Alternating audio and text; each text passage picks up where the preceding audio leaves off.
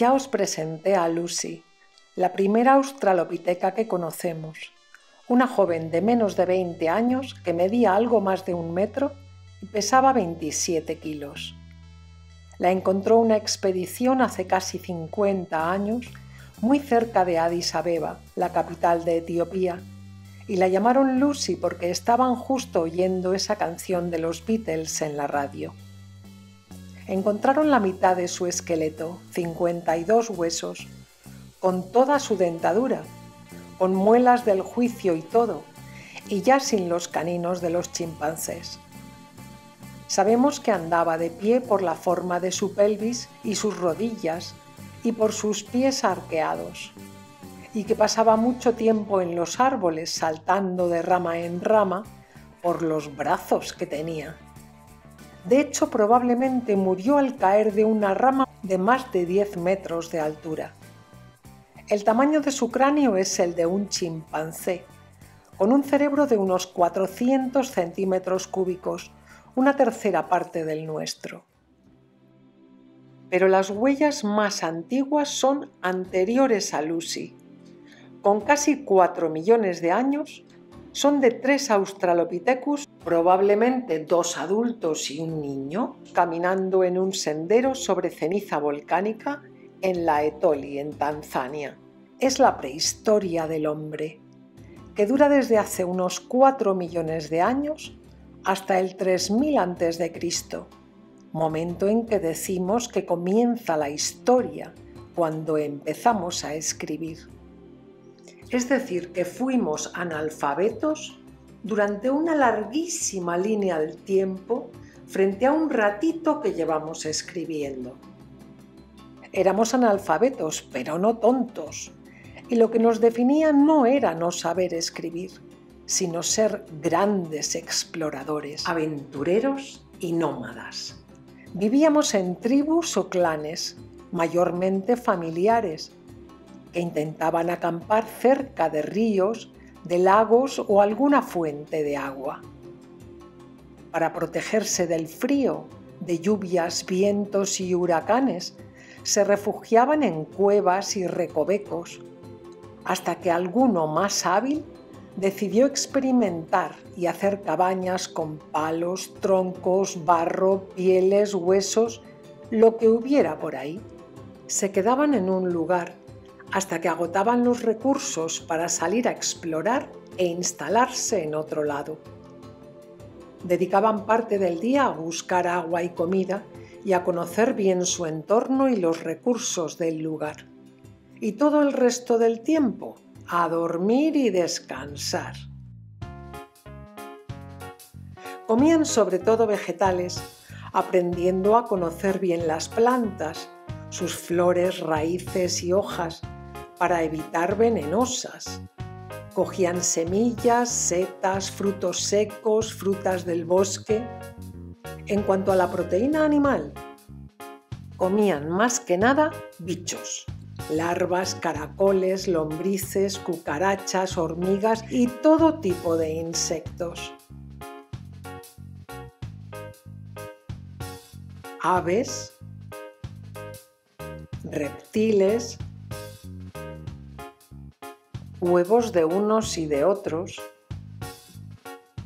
si las madres se dejaban, mamíferos pequeñitos, ardillas, conejos, zorros, y solo si había ocasión, lograban piezas más grandes robando a los carroñeros o aprovechando trampas naturales como grietas y zonas fangosas.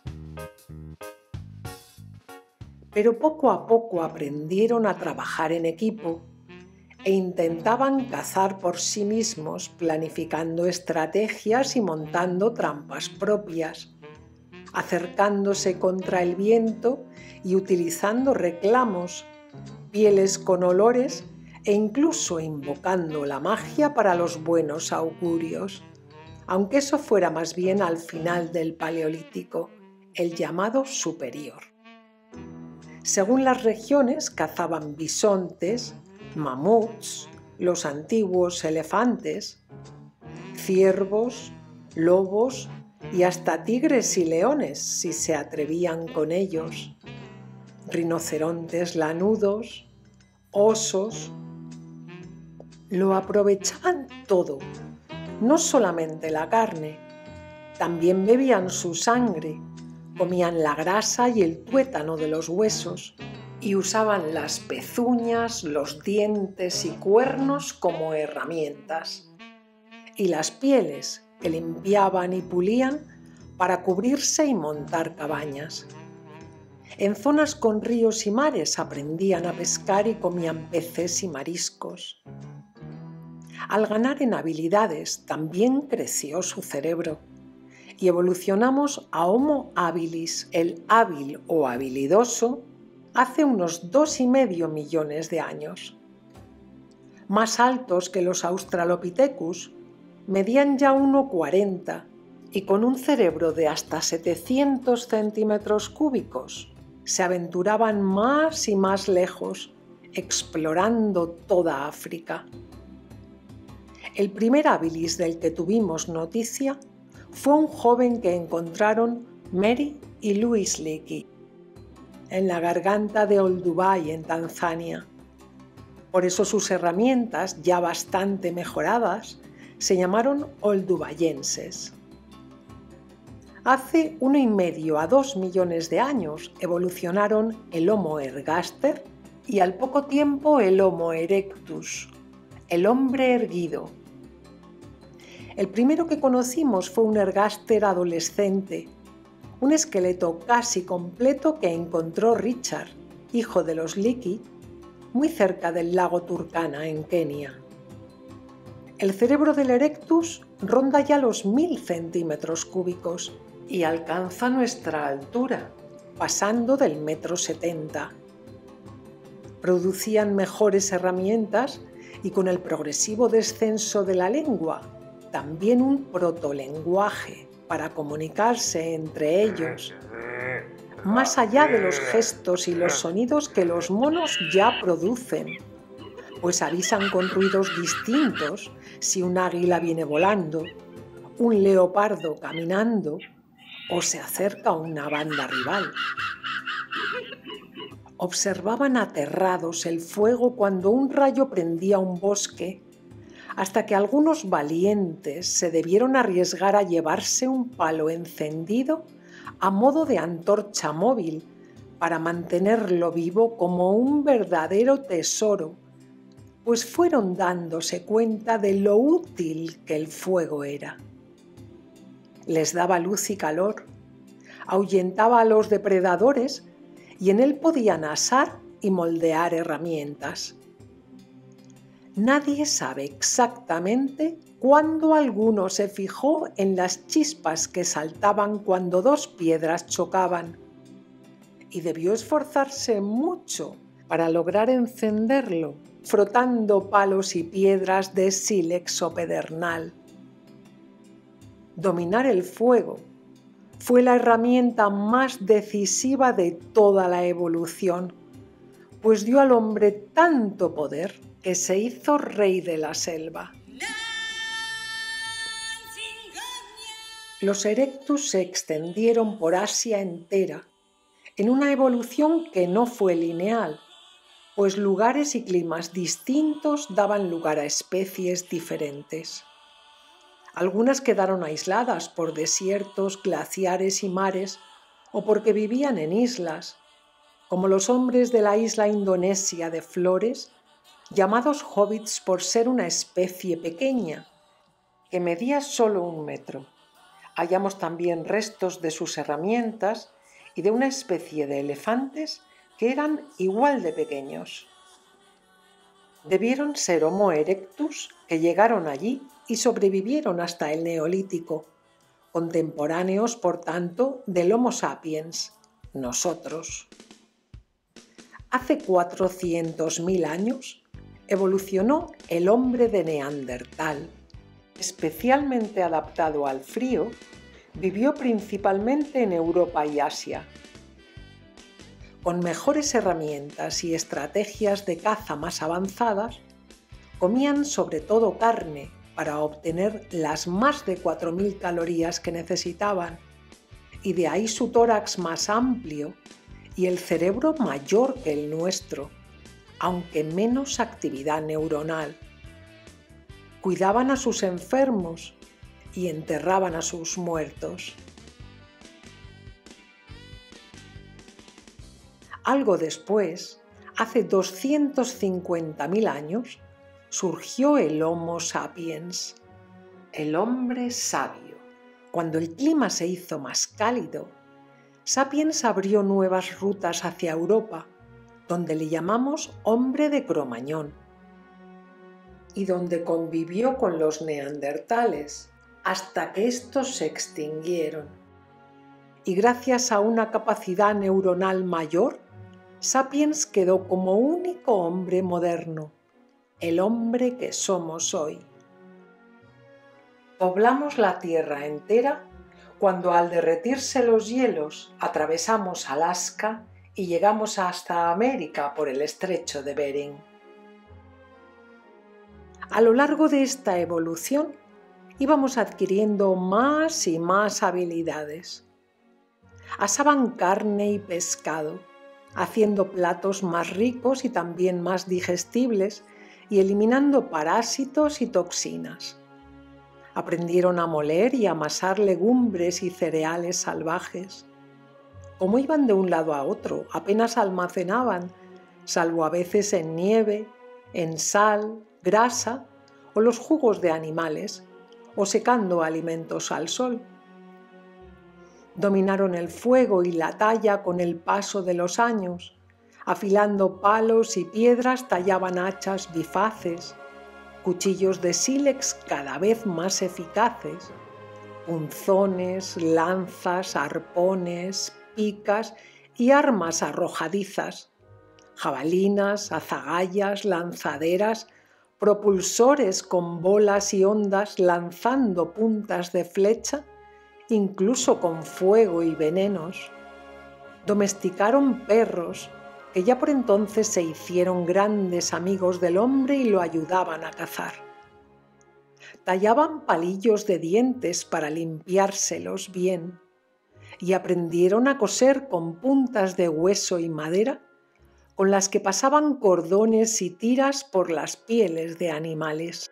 Las trataban y pulían para cubrirse con ellas Así inventaron la ropa, para protegerse del frío y de los bichos también. Y usaban a veces calzado, de esparto, fibras y pieles. Cosían también adornos para arreglarse, anillos, collares, colgantes de puntas, dientes, conchas y caracolillos que enhebraban con fibras. Fueron desarrollando un lenguaje.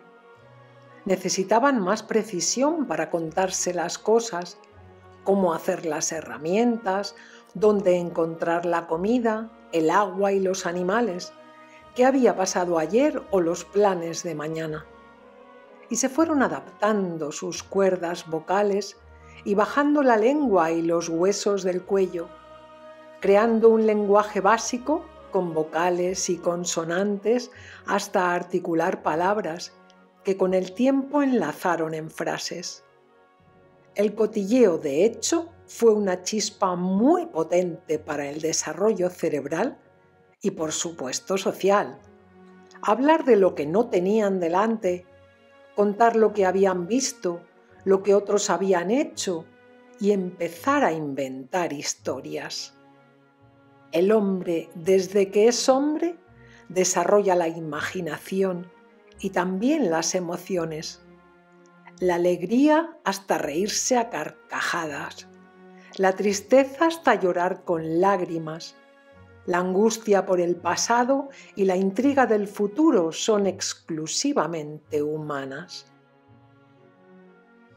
También lo son los rituales y los entierros, cubriendo a sus muertos con tierra, troncos y piedras por respeto a su vida anterior y así no verlos pudrirse y ser comidos por carroñeros. Debían verse pequeños ante la grandiosidad de las fuerzas que había a su alrededor, los eclipses, la luz del sol, la negrura de la noche, rayos, truenos y huracanes eran fuerzas con vida propia, espíritus naturales que había que respetar y hasta contentar con ofrendas para que fueran amables. Para invocar esas fuerzas, entre ellas la belleza, empezó el arte rupestre. Primero manchas y rayas y poco a poco animales, bisontes, caballos, toros, leones. Y luego escenas de caza, difuminando las sombras para darles movimiento. Esparcían los colores en paredes y altos techos, utilizando herramientas y fabricando escaleras. Valiéndose de las manos, plumas de aves, pinceles, carbón, maderas, tallos y huesos, a menudo dibujando en carbón y rellenando después con amarillos y rojos, mezclando grasa animal con sangre, óxido, arcilla, con flores, heces y orina. Hay muestras por todo el mundo, algunas muy bien conservadas por estar en lo profundo y la oscuridad de las cuevas. La más antigua que se conoce es la cueva de los Blombos en Sudáfrica, con 73.000 años, del final del Paleolítico. Y estas marcas son las que más años tienen hasta el momento pero el primer descubrimiento de arte rupestre se hizo en Altamira, en España, en el siglo XIX.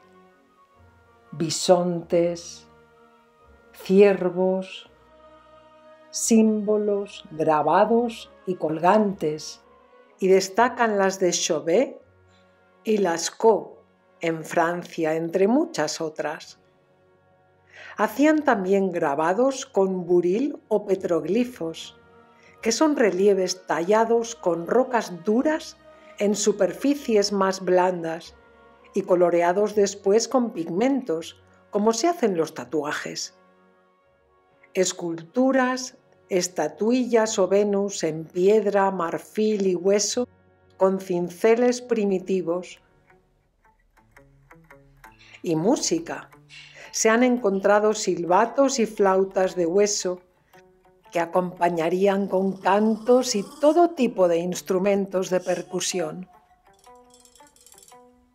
En España hay muchos restos de homínidos y en la gran dolina de Atapuerca, en Burgos, están los huesos europeos más antiguos que se conocen, de hace 800.000 años, y una mandíbula que tiene más de un millón se han llamado Homo antecesor, que tiene rasgos de Erectus y de otras especies y un cerebro de mil centímetros cúbicos.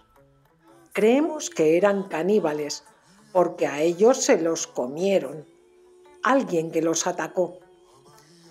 Atapuerca es la muestra de un gran festín caníbal. En palabras del paleontólogo Juan Luis Arzuaga, se los comieron enteros y chuparon bien los huesitos.